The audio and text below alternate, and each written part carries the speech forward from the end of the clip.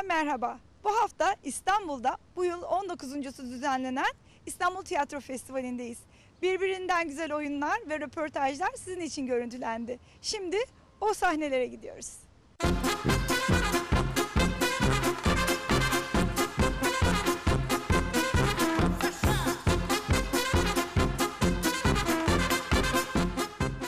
19. İstanbul Tiyatro Festivali 9 Mayıs 5 Haziran 2014 tarihleri arasında gerçekleşti. Yurt dışından 7, Türkiye'den 32 tiyatro, dans ve performanstan oluşan yüze yakın gösterimi 12 farklı mekanda İstanbul'da sanatseverlerle buluşturdu.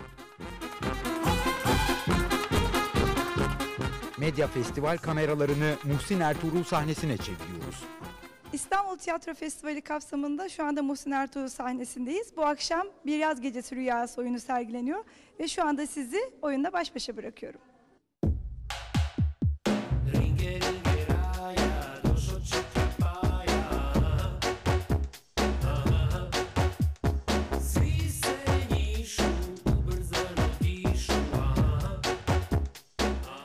2010 yılında dansçı ve koreograf Isadora Weiss'in öncülüğünde genç ve yetenekli dansçıların girişimiyle kurulan Baltık Dans Tiyatr, Shakespeare'in zamansız olarak nitelenen ünlü komedisi Bir Yaz Gecesi Rüyasında ünlü müzisyen Goran Bregovic'in imza attığı film müziklerinin kullanıldığı Harbiye Muhsin Ertuğrul sahnesinde.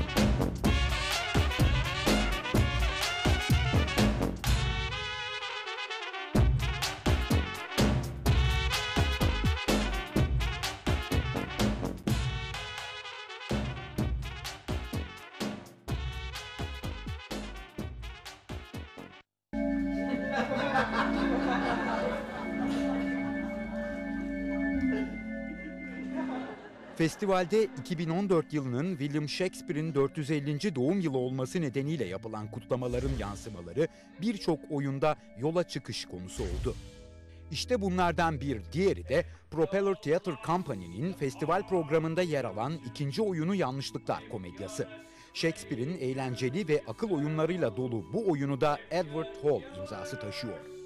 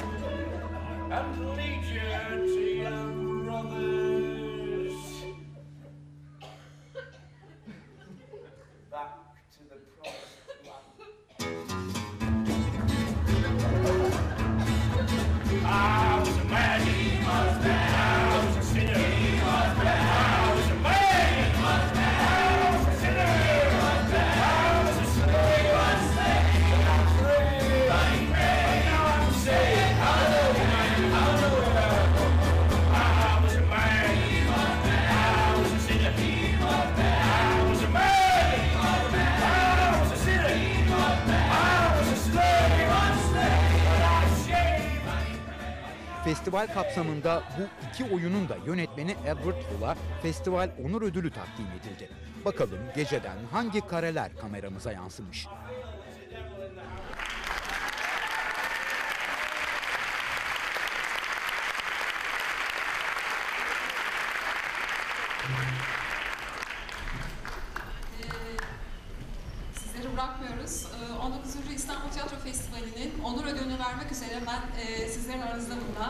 Sayın Edward Hall'u Propeller Tiyatro'nun e, sanat yönetmenini sahneye davet ediyorum.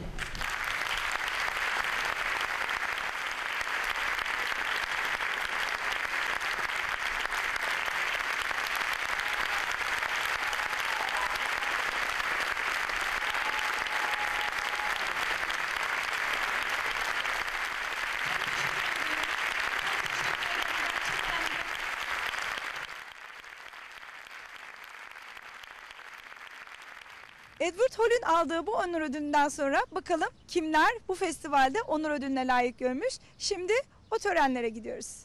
Festivalin bu yılki onur ödülü ise yalnızca akademik kariyeriyle değil, düzenlediği festival ve etkinliklerle de Türkiye'de tiyatronun gelişiminde yeri doldurulmaz bir rol oynayan bir isme veriliyor.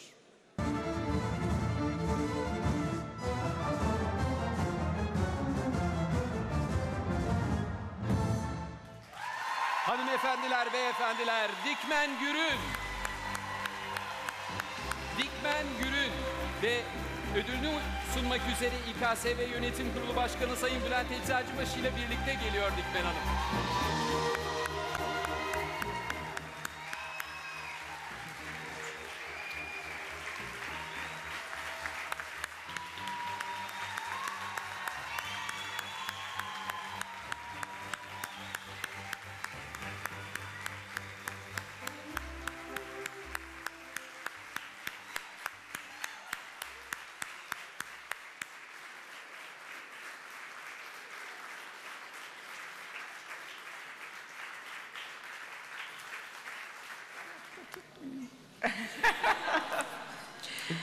Efendim eee, teşekkür ederim.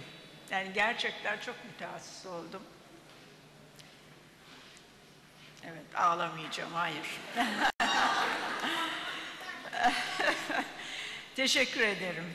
Sayın Bülent Eczacıbaşı'nın elinden aldığım bu değerli ödül İKSV 2014 yılı Tiyatro Festivali Onur Ödülü beni gerçekten çok onurlandırdı ve çok duygulandırdı.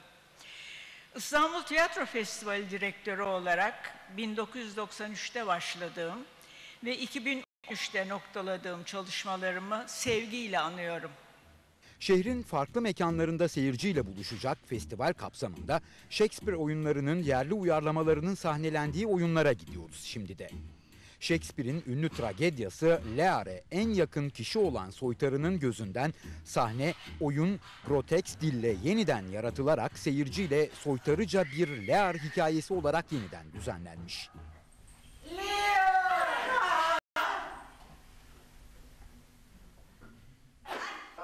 Kral, Soytarım Lear oyunundaysa Tomris İncer, Güven Kıraç, Demet Evgar, Okan Yalabık, Umut Kurt, Berkay Ateş ve Sezin Akbaşoğulları gibi tiyatro sevdalısı oyuncular sahne alıyor. hayırlı geceler dileyim. Ebediyen veda etmeye geldim. Burada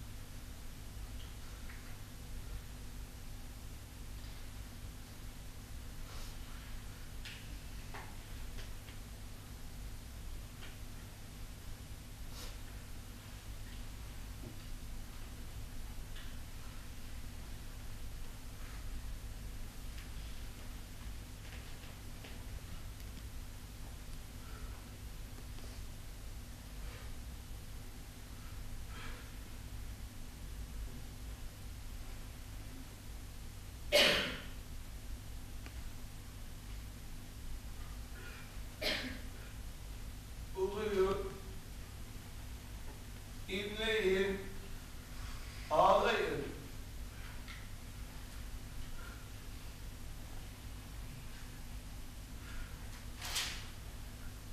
Ne taş yürekli insanlarsınız hepiniz.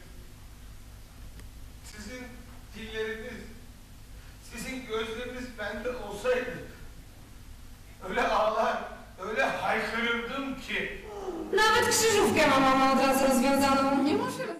2014 yılında uluslararası ilişkileri geliştirmek adına Polonya-Türkiye yılı gösterileri festival çatısı altında sergilendi.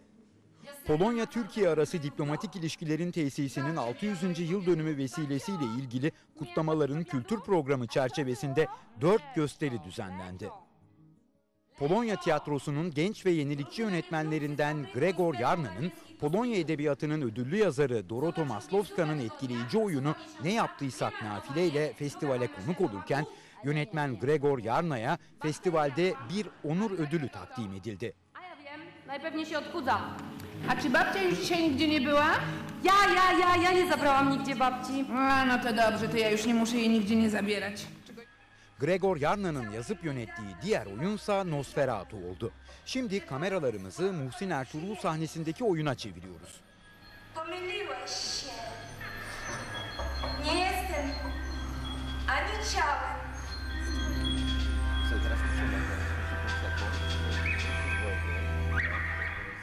Drakula romanından esinlenilerek sinemanın görsel öğeleriyle zenginleştirilip sahneye aktarıldığı oyunda gerçeklik ve bilinçaltı arasında yaşanan gelgitler sahne diliyle ortaya koyuluyor.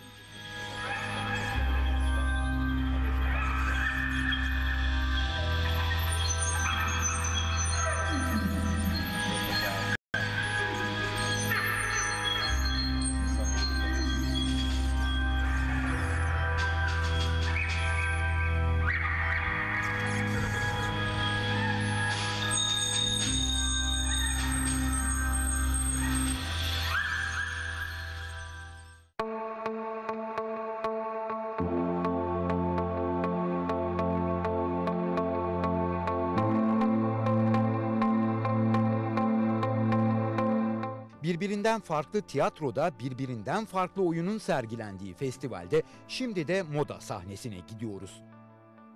Tiyatro sanatçısı, dizi ve sinema oyuncusu Barış Falay da seyirciler arasındaydı. Ünlü oyuncu tiyatro sevgisini bakın nasıl dile getirdi. İki kapıda oyuna geldik ve moda sahnesindeyiz. Barış Falay da bugün tiyatroda bir oyun izlemek için buradalar. Merhabalar. Merhaba. Sizin için tiyatro ne ifade ediyor Barış Bey? Ee, 25 yıldır hayatımda en çok şey olan şey benim. 25 yıldır oyun oynamadığım yıl olmadı. Şükür ki. Nadiren böyle vakit bulup ben de başkalarının oyunlarına gelebiliyorum. O da başka bir keyif oluyor benim için. Şimdi zevkli arkadaşlarımı izleyeceğim. Tiyatro ne anlam ifade ediyor?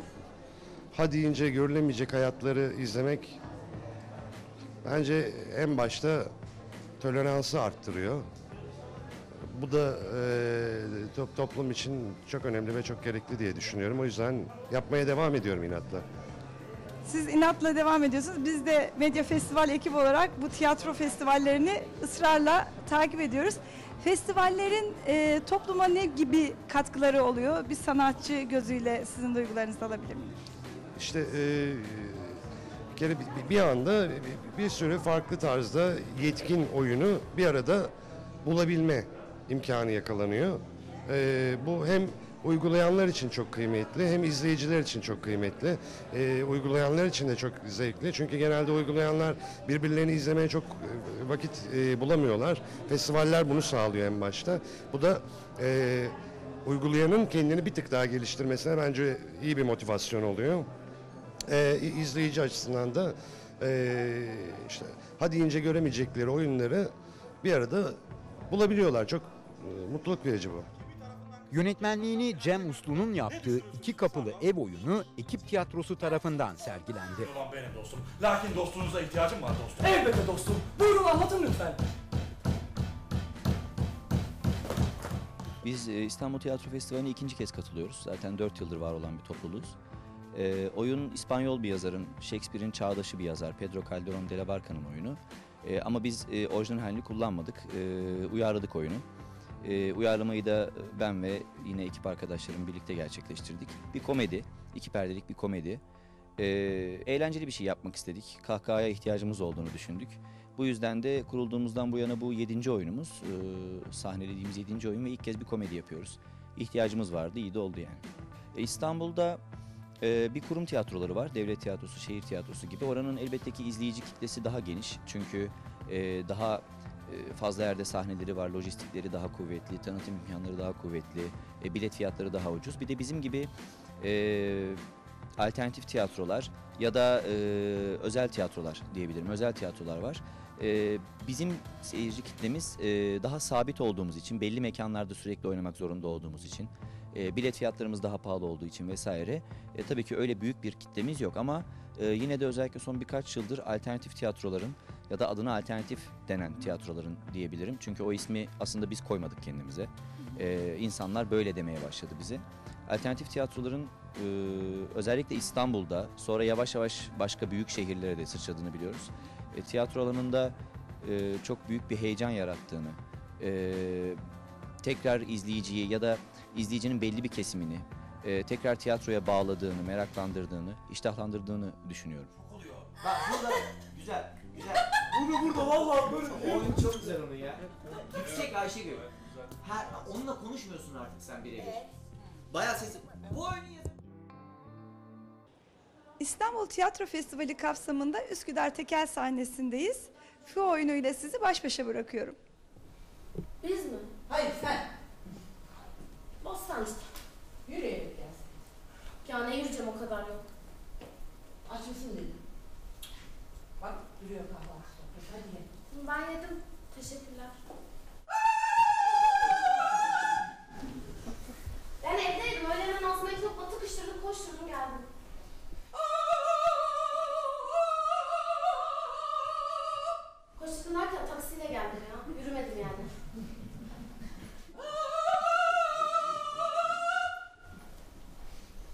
Yönetmenliğini Sami Berat Marçalı'nın yaptığı Fü tiyatro oyununda birbirinden çok farklı iki kız kardeşin iki kuşağın çatışması ve sevgi çemberi anlatılıyor.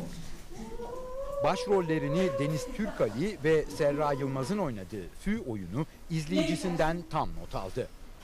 E ben de kahvenizi içeyim o zaman. Nescafe yok. Türk kahvesi de uzun sürer. Çay.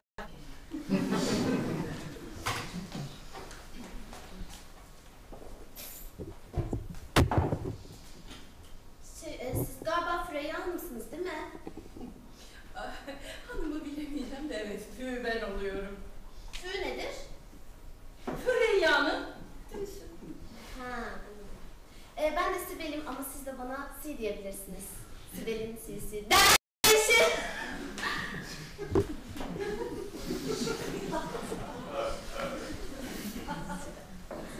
Deniz Hanım merhaba. Çok keyifli bir oyundu. Ee, İKSV'nin bu seneki oyunlarından en keyifli oyunlarından bir tanesiydi. Çok teşekkürler, sağ olun. Furali nasıldı? Siz oyunun içinde gerçekten e, başka bir boyuta gittiniz. Biz de bunu çok hissettik. Duygularınızı alabilir miyim? E, Valla Fü çok güzel bir rol tabii. Her oyuncunun oynamak isteyeceği türden bir rol. Ama bütün roller öyle. Yani dört karakter var. Dört karakterde e, çok güzel yazılmış e, karakterler. Onun için oynaması da çok keyifli oluyor. Hepimiz için geçerli bu. Fü işte e, biraz dilci dolu. İçinde e, çok gizli bir yerde bir hüznü var. E, çalışması keyifli bir roldü. Bir oyuncu olarak tiyatro size ne ifade ediyor? Tiyatro benim için bir e, yaşam biçimi. Ç- çok sevdiğim, çok severek, sevinerek yaptığım bir iş. Ee, insanların gelmesi, seyretmesi e, tabii ki hepimizi çok mutlu ediyor. Festivaller çok önemli bunun için. Hem e, kültür alışverişi sağlanıyor diğer dünyanın diğer e, ülkelerindeki tiyatroları, yazarları, oyuncuları görüyoruz. Böyle bir kültür alışverişi oluyor. Bu çok önemli. İkincisi insanlar daha çok tiyatroya gidiyor. Kaldı ki bu son yıllar zaten Türkiye'de tiyatro için altın yıllar. Gençler büyük bir atak yaptı. Gençlerden kastım yaşı küçükler değil. Kafası genç olan, merak eden, eee, sorgulayan, itiraz edenlerden söz ediyorum. Her yaşta olabilir o gençler. Ee, onların bayağı büyük bir itici gücü oldu ve ya dediğim gibi Türkiye'de tiyatro tabii tabii tabii tabii. Yani he- e, hepimiz yeni baştan tiyatrodan, oyunculuktan ne anlıyoruz, hayattan ne anlıyoruz, e, politikadan ne anlıyoruz bunları sorgulamaya başladık. Bu da çok güzel. Hepimizi genç ve diri tutan bir şey tabii ki. Ne diyor? Bir gün hep beraber Beyoğlu'na gittik. Bizi böyle bir salona aldı. Allah'ım nasıl pis, nasıl pis. Annem de kürkünü giymiş. Hani tiyatroya gidiyoruz ya. Bunlar sahneye çıktı. Üstlerinde böyle kırmızı kurdelalar falan. Bir tane ağa varmış. Ağa bunları aç bırakıyormuş. Bunlar da ağanın nesine karşı? Hegemonyasına. Hegemonyasına karşı birleşiyorlar. Bir de aşk hikayesi. Ağanın oğluyla fakir kızın aşkı. Sizi tanıyabilir miyim lütfen? Tabii ki e, Murat Mahmut Yazıcıoğlu. E, tiyatro Festivali'nde ikinci kat tiyatronun Fü oyunun yazarıyım. E, daha önce e, oyuncu olarak ve bir yönetmen olarak çalışmıştım ikinci katla. E, ilk yazdığım oyun e, ve ilk kez sahneleniyor. İki tane e, orta yaşın üzerinde kız kardeş var diyelim. İki tane de genç insan var. E, kadın oyun, oyundaki kadınlar benim ailedeki kadınlardan çok esinlendiğim karakterler. Tabii yani birebir değiller ama e, işte o konuşma tarzları ya da espri anlayışları diyelim. E, diğer çocuk da yani o biraz gözlem, başka bir şeyler falan. Biraz ben belki, biraz arkadaşlarım. Öyle yani çok gerçekten hani ya ailede ya da çevrede olan karakterleri çok andırıyor hepsi. İşte ferahlık temizlik sizlere hem de hiç kurulamadan vurulamadan.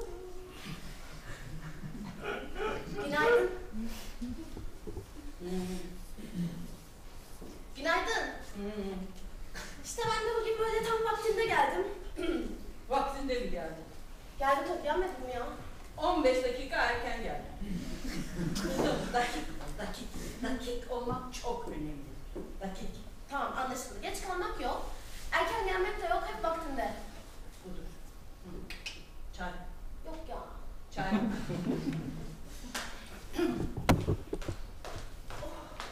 Şimdi kızım ben sana yapacağın işleri söylüyorum.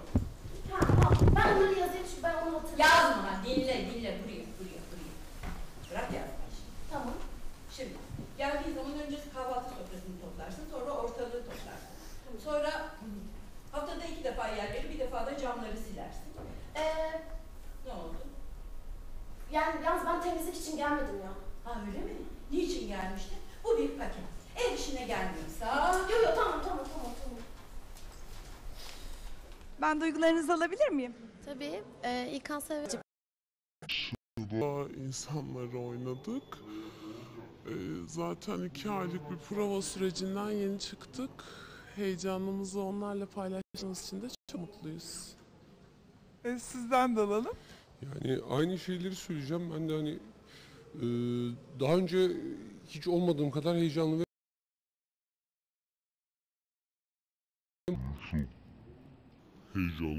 mutlu, güzel bir süreç geçirdik açıkçası.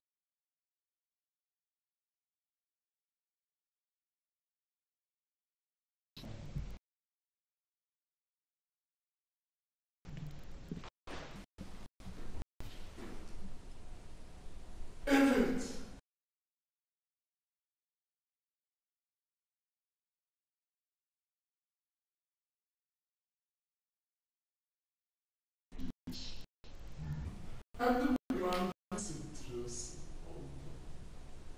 Başka? Başka? Bir yıldır sana oynadığım o abartılı doktor şeyleri izledim. Yani az şey. Değil vallahi çok zor. Ben de şaka yaptım aşkım. Beni seviyorsun. Sera Hanım merhabalar. Merhaba.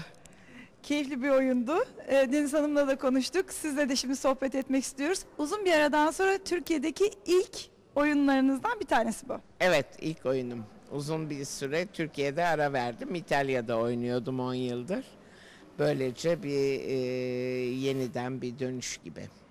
Peki İtalya'daki tiyatro sahneleriyle Türkiye'deki tiyatro sahnesi arasında bir kıyaslama yapabilir miyiz? Vallahi pek fazlaca değişen bir şey yok. Tiyatro dediniz mi dünyanın hemen hemen her yerinde aynı. Yalnız büyük değişiklik aslında daha alternatif tiyatro yapan tiyatrolarla doğrudan e, devletten destek alarak kurumlaşmış yani bir komedi Fransızle genç tiyatrocuların açtığı bir sahne Fransa'da nasıl farklıysa ya da bölgesel tiyatro denilen ve doğrudan devlet tarafından finanse edilen bir takım tiyatro merkezleri nasıl farklıysa bizde de e, İtalya'daki farklılıklar, bizdekiler aynı. Bir tiyatro sanatçısı olarak uluslararası etkinliklerde siz hangi sofranın olmasını tercih edersiniz, onları önerirsiniz? Valla e, şöyle söyleyeyim ben İstanbul mutfağını e, öneririm çünkü İstanbulluyum. E, İstanbul mutfağı biliyorsunuz Ermeni, Rum ve göçmen yani muhacir dediğimiz Balkan e, mutfağından da çok esinlenen, Kafkasya mutfağından esinlenen Çerkezlerin de nüfusunun çok olmasıyla karma karışık bir mutfak. Güzelliği ondan kaynaklanıyor bence. Lezzeti ondan kaynaklanıyor. Dolayısıyla böyle mükemmel bir İstanbul sofrası öneririm. Hem e, mezeleri hem zeytinyağlıları, dolmaları bol olan bir İstanbul sofrası. O zaman şimdi o sofraya gidelim. Tamam. Teşekkürler.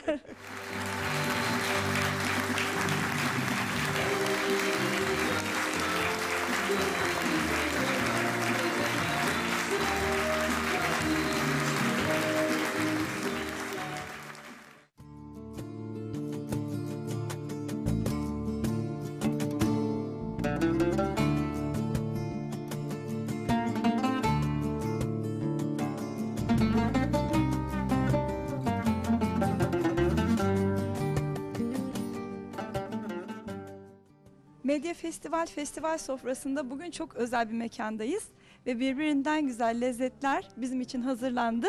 Efendim ellerinize sağlık. Sizi tanıyalım. Biz neredeyiz? Neler yiyeceğiz?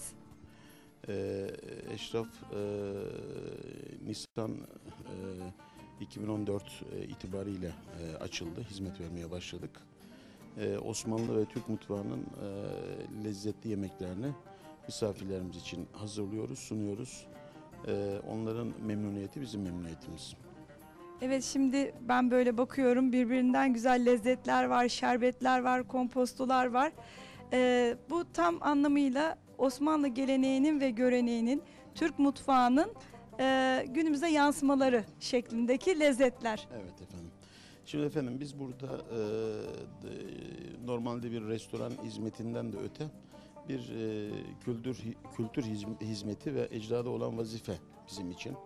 E, biz esasında o olayın kültür yanını, e, kendi kültür kültürümüzün tanıtılmasını ticaretin çok önünde tutuyoruz.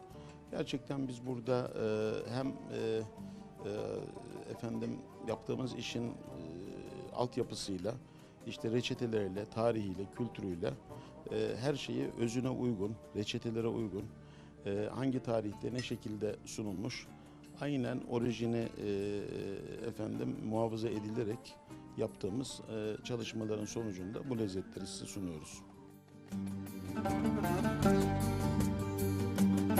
Evet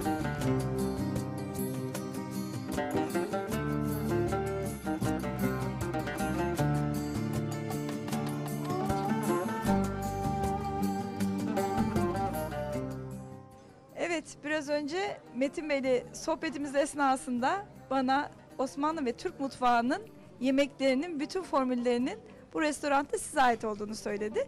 Biraz hatırlayalım. Kültürünüzü bakın ıspanağı bile anlamışsınız, pullamışsınız. Ispanağın suflesi. Evet. Ispanağın suflesi.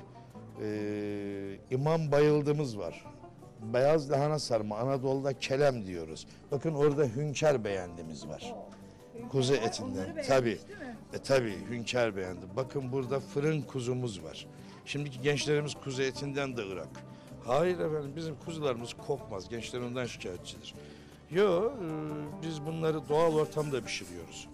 Yani benim mutfağımda siz e, doğalgazla ilgili veya tüple ilgili bir şey bulamazsınız. Biz hala eski geleneksel yöntemlerde odun ateşinde, odunlu fırınlarda pişiriyoruz. Tabii biraz terletiyor. Birazdan fazla terletiyor. E, Biraz da e, meşakkatli. Yani bir saatte bitecek işi biz belki dört saatte bitiriyoruz ama Bakır kaplarda yapıyorsunuz. bakır tabii tabii tabii. Yani şunu söylüyorum ben. Tabii tabii tabii tabii. E, Tabii tabii tabii orada bakırlarımız. Ee, ben şunu söylüyorum. Ben emekli bir aşçıyım. Eğer gerçekten e, çocukluk devrimde de beni sigortalı eyleseydi de ben iki kere emekli olmuştum. Ve ben şunu söylüyorum. Yemeğin sanayisi olmaz. E, Yemek yaşam biçimi. Yemek bir kültür. E, Yemek bir terbiye.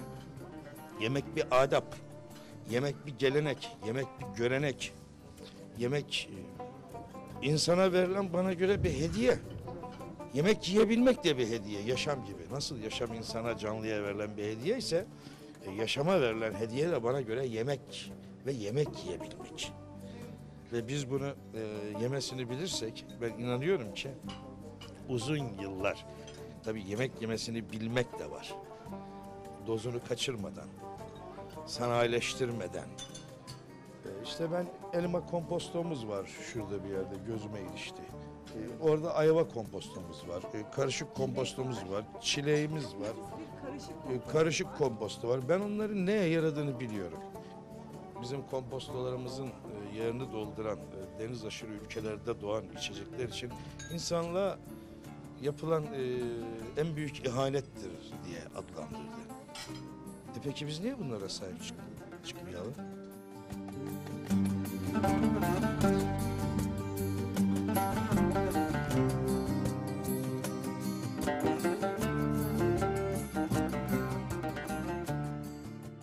Tiyatro dolu bir festivalin daha sonuna geldik. Önümüzdeki hafta Bandırma'dayız. Bizden ayrılmayın. Medya Festival'de kalın.